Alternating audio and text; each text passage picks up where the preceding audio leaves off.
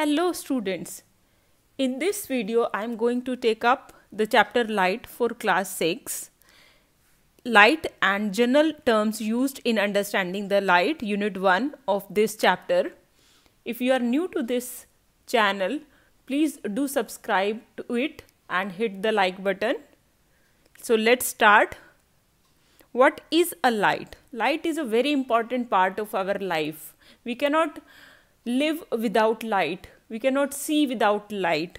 Whatever objects which are present in our surrounding we can see them only and only because of the light. It is very important for us. So what is a light?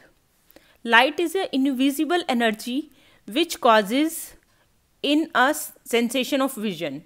We can see the different objects in our surrounding just because of the light so it creates a sensation it creates a visibility of different objects in which are present in our surrounding what happens जब light जो है वो different objects के ऊपर जाती है it gets reflected and this reflected light enters in our eyes and our brain uh, recognizes which kind of light it was and because of it we are able to see so पहले क्या हुआ light objects के ऊपर गई object से reflect होकर हमारी eyes में जाती है और फिर हमारे ब्रेन में जाकर वो सेंसेशन क्रिएट करती है about the object this is how we are able to see the different object तो लाइट क्या है लाइट एक एनर्जी है that creates sensation into our eyes now the question comes what is the speed of light light किस speed से travel करती है? So the speed of light is three multiplied by ten to raise power eight metre per second कितनी हुई?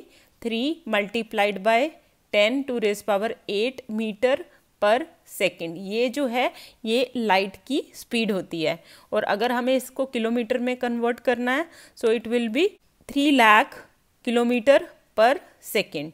Fine so we can convert it into metre as well as kilometres fine then next question that comes to our mind is sources of light what are the different sources of light as we know sun is the primary source of light on the planet earth हमारी earth पर the main source of light is sun sun के कारण ही सारी light होती है.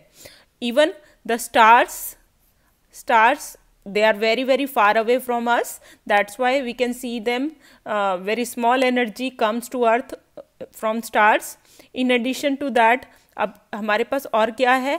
Electric bulb candles torch glowing fluorescent tubes kerosene lamp Petromax ये सभी हमारे सोर्सेज ऑफ़ लाइट हैं। Along with that, there are some other things like we have insects like glowworm fireflies glowworm और फायरफ्लाइज और कुछ fishes भी हैं जो लाइट को जनरेट करती हैं। So the process by which light is given out by the living body living bodies जो हैं, यानी कि जो जीती हुई एनिमल्स हैं या इंसेक्ट्स हैं, वो लिविंग हैं, जो जीते हैं। फाइन सो वो अगर हमें कोई लाइट देती हैं that is called as bioluminescence और जो ल्यूमिनस बॉडी हैं ल्यूमिनस बॉडी क्या होती हैं? All the bodies which emit light energy by themselves ऐसी ऐसे ऑब्जेक्ट्स और बॉडीज जो खुद की लाइट को प्रोड्यूस करते हैं, खुद की लाइट को जनरेट करते हैं, वो कहते हैं हमारे luminous body for example sun stars these are the luminous bodies which provide us the light of their own.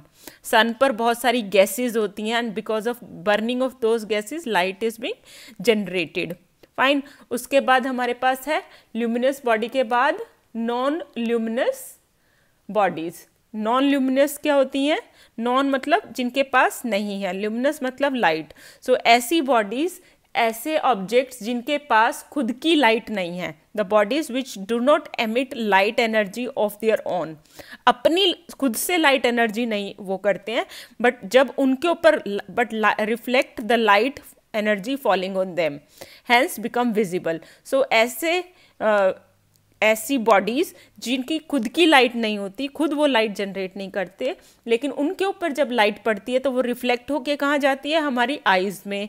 और आइज़ से सेंसेशन कहाँ जाती है? ब्रेन में। और फिर ब्रेन हमें बताता है अबाउट द ऑब्जेक्ट सो वो रिफ्लेक्शन के कारण जो हमें विजिबल होती है these are the non luminous bodies fine? So, luminous body, those having their own light non luminous body, those bodies which do not have their own light non luminous में सभी आ जाती हैं हमारे पास trees fridge T V phone house electric poles these are the non luminous body जिनकी खुद की कोई भी एमिटिंग पावर नहीं है. Next thing which we will include is general definition for light first one in this is optical medium any material any non material which through which light energy can pass partially or wholly is called as the optical medium.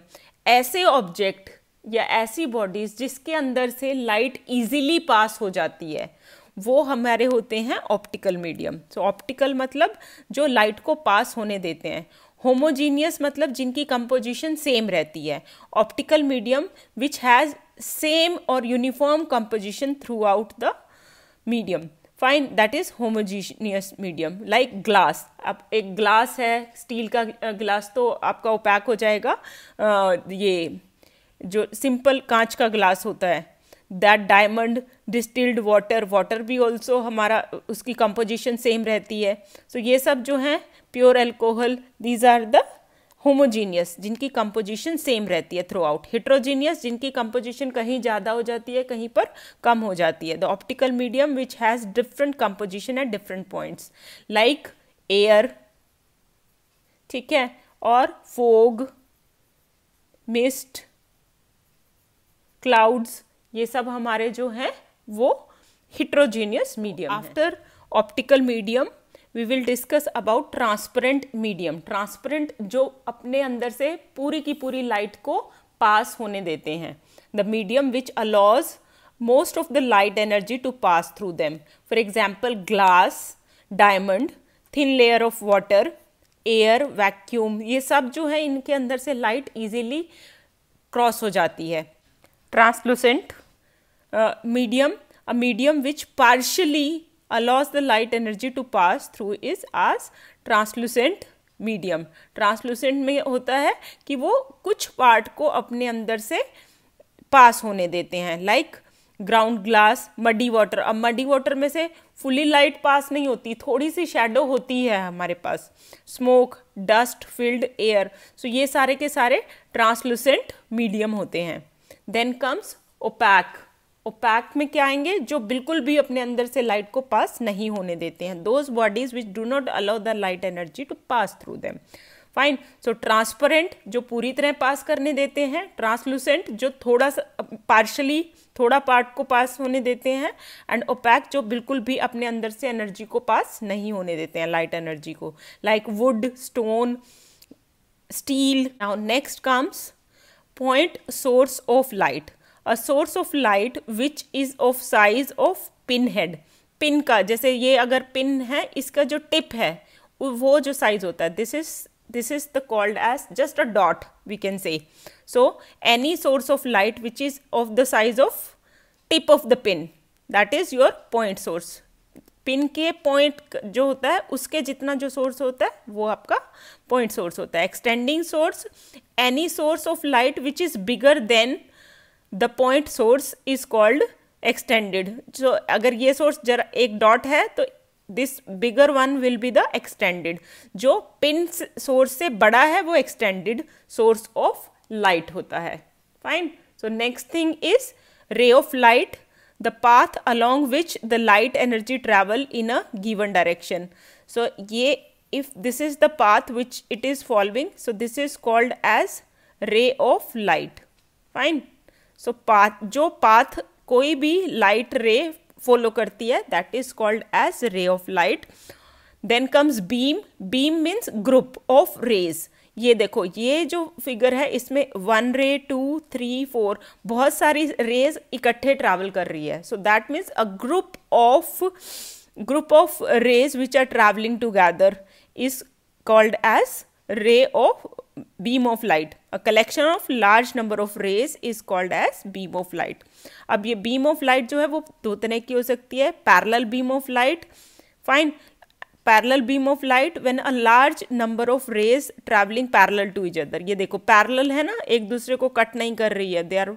called as the parallel beam of light fine so this is so after parallel it is convergent and divergent beam of light.